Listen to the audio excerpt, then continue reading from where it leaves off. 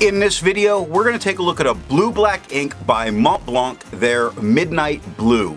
Now, as always, there's timestamps down below so you can skip around, but if you've got the time, I'd appreciate you checking out the entire video. Also down in the description is a link to the blue black playlist, so if you wanted to find more of them, you can find that there. I'm an ink guy, and let's get into the first writing sample done on 90 GSM Clairefontaine. No bleeding, no ghosting, we get no feather, spread, halo sheen. We do get shading in the extra fine and in the medium. Now the extra fine's quite a bit lighter than the stub and the medium's a little bit lighter than the extra fine. The extra fine took 8 seconds to dry while the medium took 13. Scrubby for both show great color variation and it does show it in the writing and the smear test you could recover if you smeared while you were writing. To have a range of experience with this ink, all of the writing samples are done with a Jinhao 159 with a 1.1 stub, a Jinhao X450 with a medium, and a Jinhao X750 with an extra fine.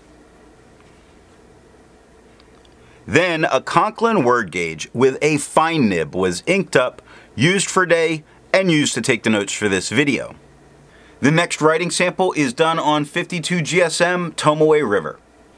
No bleeding, no ghosting, we have no feather, spread, halo sheen, no shade, some real uh, tone variation where the extra fine's a lot lighter than the stub. The medium is just a tad darker than the extra fine. The extra fine took 12 seconds to dry while the medium took 19. The scrubbies show a tiny bit of color variation, but I don't really see it in the writing. The smear test, I do not think you could recover if you smeared while you were writing. I agree with Vita. There's a lot to learn by doing multiple chromatographies.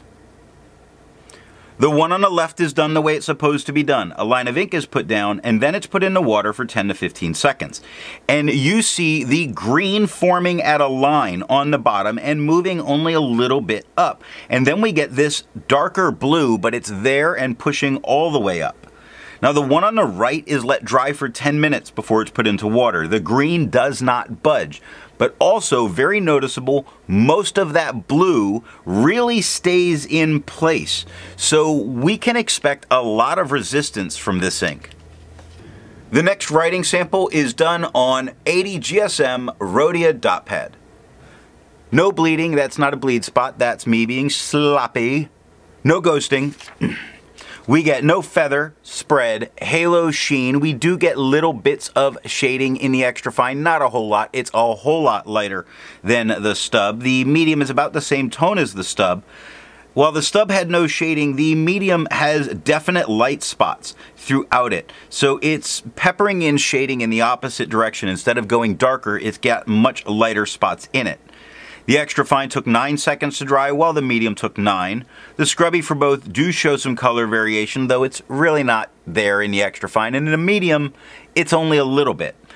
The smear test says you could recover if you smeared while you were writing.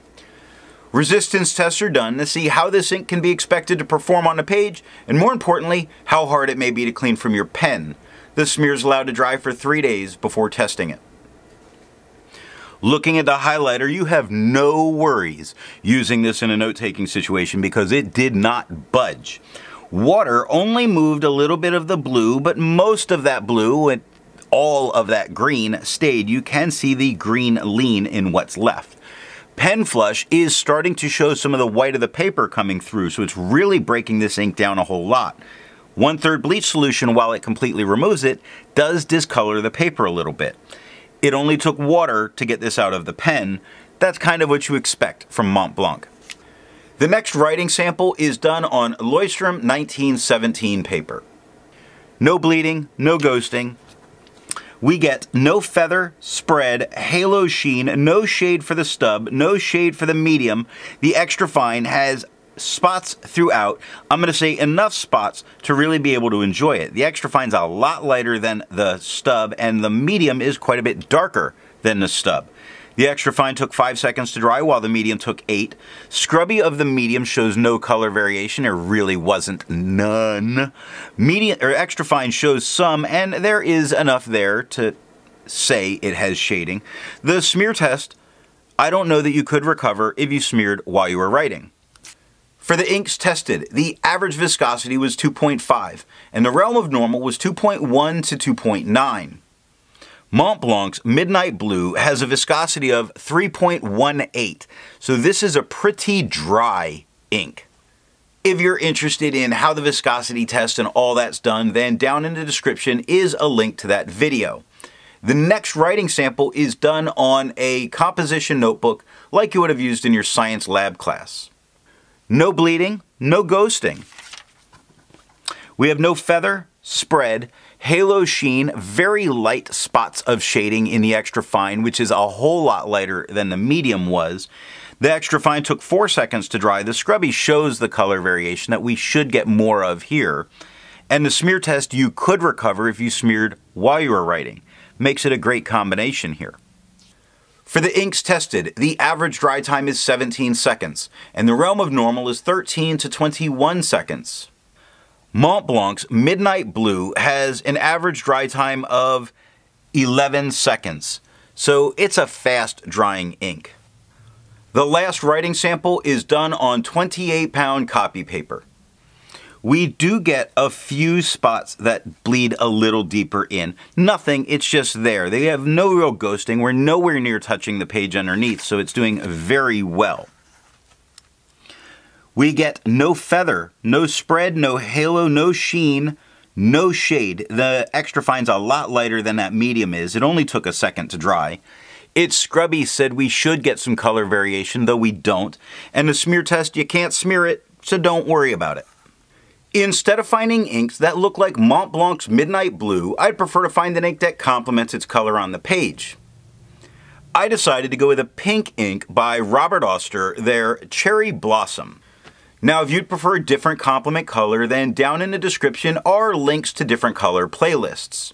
So what do I think of Montblanc's Midnight Blue? It's a really good blue-black as the tone goes from a nice blue to a dark almost black. It's so nice.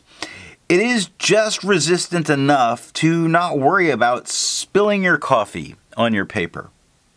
So what nib and pen are going to give the best writing experience with this ink? It looked standout awesome from a dry fine when I was taking the notes. That Conklin word gauge, it's a dry fine writing and it looked great. I really preferred it there as opposed to the writing samples and what I was seeing. So the right pen makes all the difference. I hope you got something out of this video, and in the next video, we're going to take a look at Diamine's Magenta Flash, a shimmering ink. Again.